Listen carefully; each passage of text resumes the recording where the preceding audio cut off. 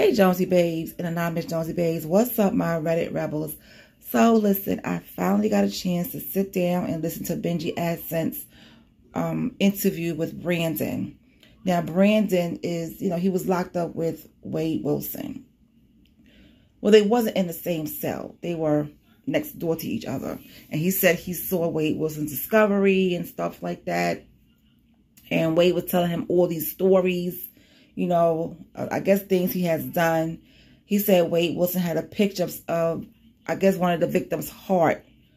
You can't have that type of picture in there. The COs or the officers are not going to let you have that that type of picture in there like that.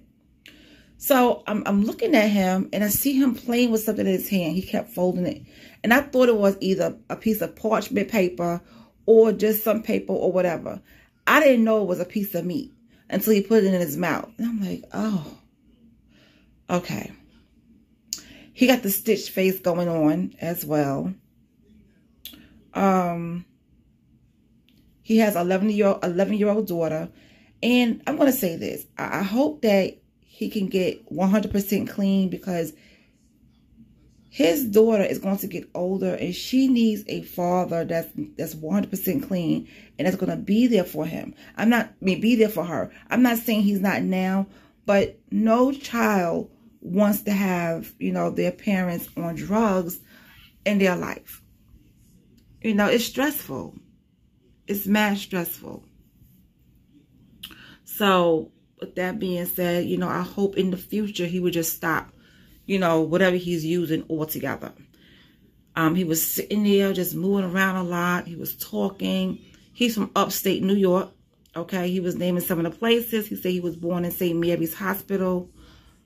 And I'm watching Benji, and Benji is just looking, you know, like he's trying to be serious. But in his mind, it's like, I have to end this.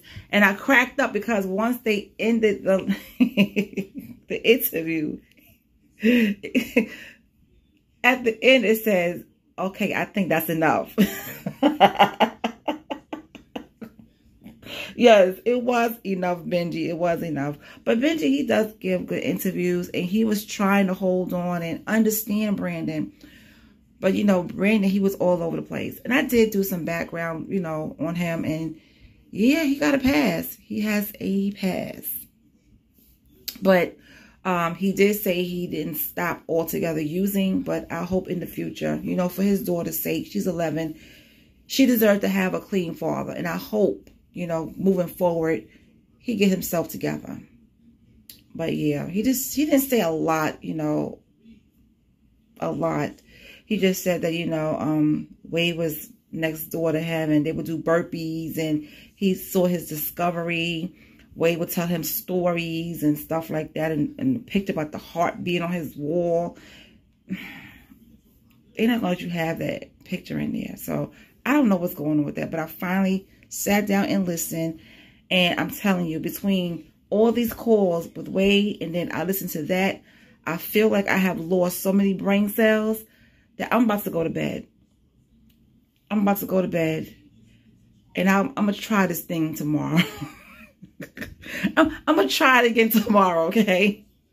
I'm going to get my hair done. I'm going to do some self-care tomorrow. So if anything interesting happen, you know, send it to my email or send it to my Instagram and I, I, I'll get up with you guys when I can. I'm always on Reddit. I'm always in the background checking. Okay, I may not say too much in the Reddit, but I'm there. Okay, just say hello. Just say, hey, Phone Jones. And I reply because I'm in, you know, that's how I am. When I go on Jumpsuit Pablo's channel, I'm always in the clouds. You know, I'm, I'm, listening to what he's saying. I'm always in the clouds. Um, YouTube streets, you know, I drive down and I talk to him because I'm comfortable there. You know what I'm saying? So, but before, I used to be in the clouds just listening. That's how I roll. That's how I do it. You know? But um, everybody out here doing their thing. And I'm, I'm, I'm happy to see it. Everybody out here is doing their thing. So keep doing your thing, guys. I'm going to keep doing my thing. And, um, yeah, that Benji and Brandon um, interview, yeah. Mm-hmm.